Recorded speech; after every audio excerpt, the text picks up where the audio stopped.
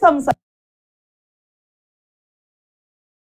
survived and grew at the cost of others that could not flourish the novelty and brilliant insight of darwin was this यही तो Darwin का novelty था novelty मतलब वजराबाद का वो कपड़े का दुकान नहीं नोवेल्टी का मतलब है अनोखा